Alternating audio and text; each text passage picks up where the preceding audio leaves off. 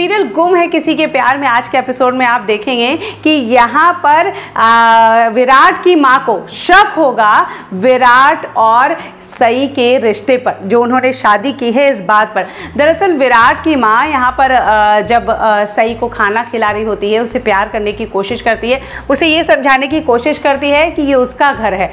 अब उसे विराट के साथ रहना है। थोड़ा थोड़ा ससुराल में शुरू में प्रॉब्लम होगी, लेकिन एडजस्ट करना है। लेकिन यहाँ पर सई बहुत सारी बातें सुनने के बाद एक खास बात बोलती है कि आप मुझसे ज़्यादा उम्मीद मत करिएगा। मेरे बाबूजी चाहते थे कि मैं डॉक्टर बन जाऊँ और डॉक्टर बनकर मैं यहाँ से चली जाऊँगी। मैं किसी पे बोझ नहीं बनना चाहती। ऐसे में विराट की माँ उसे रोक लेती है और कहती है, तुमने विराट से शादी की है, तुम बोझ नहीं हो, इस घर की बहू हो और दोबारा ऐसे शब्द मत बोलना। खैर, यहाँ सही को कोई अपनाने को तैयार नहीं है और वहीं आप देखेंगे, पाखी से विराट एक बहुत बड़ा प्रॉमिस लेगा, एक बहुत बड़ी बात कहेगा। वो पाखी से कहेगा, क्या तुम मेरी एक बात मानोगी? पाखी बोलती है, जो तुम कहो। ऐसे में विराट कहता है क्या तुम सही की मेंटोर बनोगी? क्या तुम सही की गुरु बनोगी? क्या तुम सही को सही रास्ता दिखाओगी? इस घर में सपोर्ट करोगी? पाखी को समझ में नहीं आता कि वो क्या जवाब दे।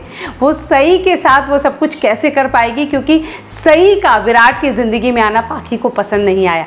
अब ये देखना ये है कि क्या पाखी सचमुच सही को आ, सही की मैंटोर बनती है उसे सपोर्ट करती है। दूसरा सबसे बड़ा ट्विस्ट यहाँ दूसरे दिन विराट की माँ चाहती है कि भले ही ऐसी कंडीशन में शादी हुई, लेकिन यहाँ पर वो फिर से सारी रस्में कराना चाहती है नई बहू के आने पर। लेकिन विराट भी इस सारी रस्मों को करने से मना कर देता है और सही भी सारी रस्मों को करने से मना कर देती है।